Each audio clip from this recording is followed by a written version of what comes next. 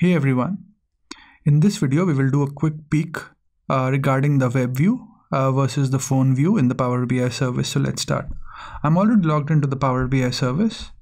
And before we begin, uh, i just like to state that in, during in the phone view, you basically can't build anything. Uh, you can uh, change the formatting or you can change what visuals are available in the phone view, but you can't do any form of uh, editing which is possible in the web view. So let's start. Um, I'll just go to my Learn to Excel workspaces and I'll open sales dashboard. And then I can show you, so this is the web view where I can add pin more visuals and stuff. Now let's say if I toggle from this and you can see these are, there are visuals here and I can more add more visuals as well into this. Um, either by uh, using quick insights or uh, by explicitly pinning the visual but let's say I want to look at the phone view. So I'll just click on the phone view now and this whole thing will change. So you can see the phone view and it is showing to me how my visuals are. So it's essentially just pinned all these visuals into a phone view.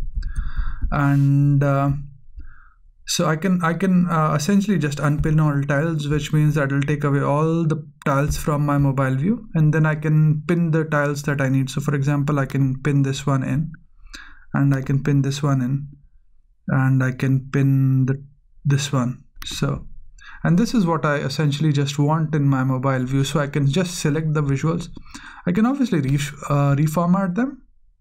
Not sure if that's uh, going to make a lot of sense in this case but uh, I'm able to reformat my visuals or uh, make sure which visuals are available for the mobile view.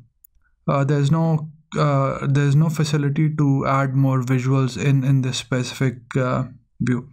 So in this video we've quickly looked at the mobile versus the web view in the power bi service and we've looked at in and we've noticed that in the mobile view we cannot uh, do any form of creation. We can only do is we can select the visuals that are already available to us or we can reformat their size so we can increase their length or decrease their length whereas in the web view we can edit and add visuals as well and make additions to the dashboard. I hope you find this video useful and thanks for watching this video